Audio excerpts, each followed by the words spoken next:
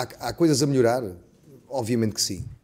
temos muitas situações que temos que melhorar, temos que trabalhar, por isso é que não, nós somos os eternos insatisfeitos e sabemos que, que, podemos fazer mais e melhor, sem dúvida nenhuma. Mas se calhar, são as duas oportunidades do Nico Gonzalez, se, se a oportunidade do Dani, estamos a falar que bolas passaram a centímetros.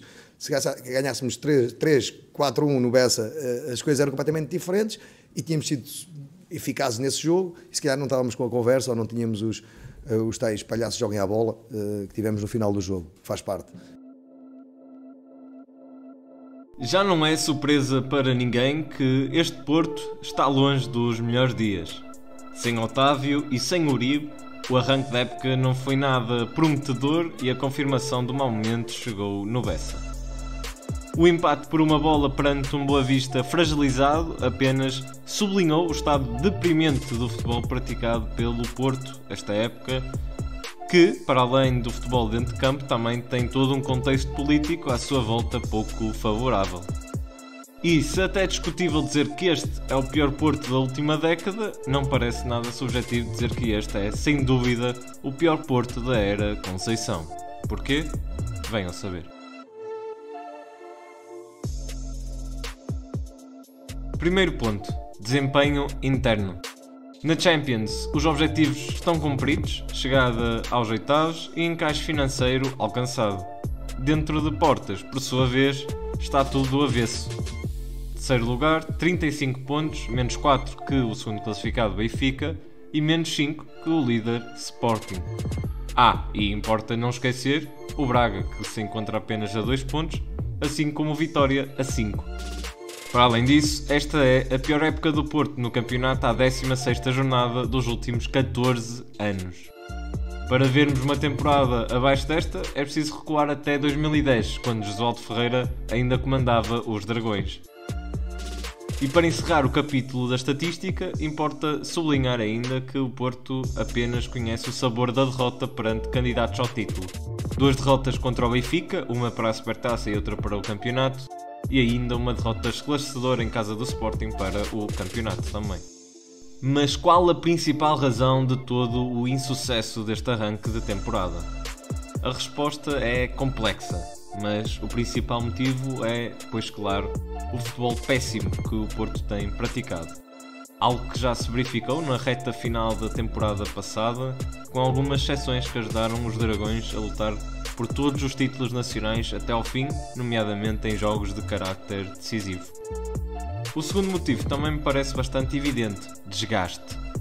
E não me refiro a desgaste físico, mas sim um desgaste de ideias, ou seja, um ponto que entronca no anterior, o mau futebol apresentado. Sérgio Conceição tem sido demasiado previsível e tem apresentado, invariavelmente, 11 estranhos e com poucos reforços. Isto num período onde o Porto vive em dificuldades financeiras. Ou seja, é de estranhar esta baixa utilização dos jogadores mais requisitados. A título de exemplo, Navarro apenas foi titular em duas ocasiões e já foi emprestado neste mercado de transferências. Ivan Heim somou apenas 5 titularidades, Nico outras 5 e são apenas 3 jogadores. E aqui também estão cerca de 26 milhões de euros.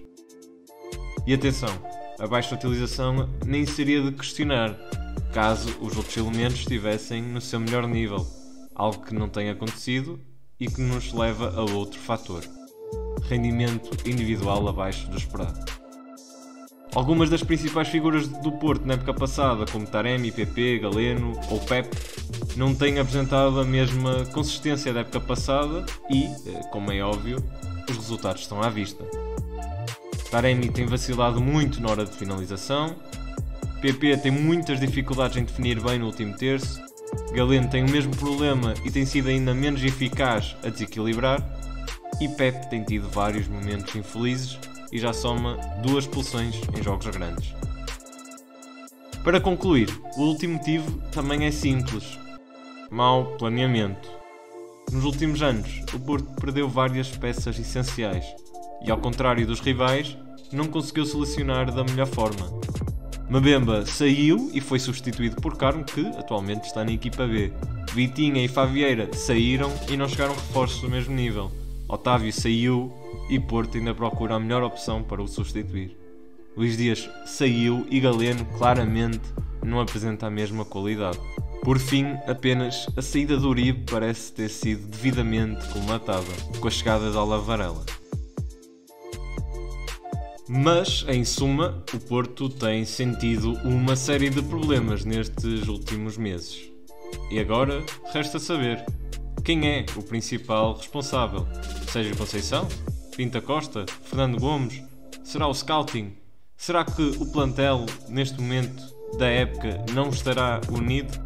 Deixa a tua opinião nos comentários e até uma próxima.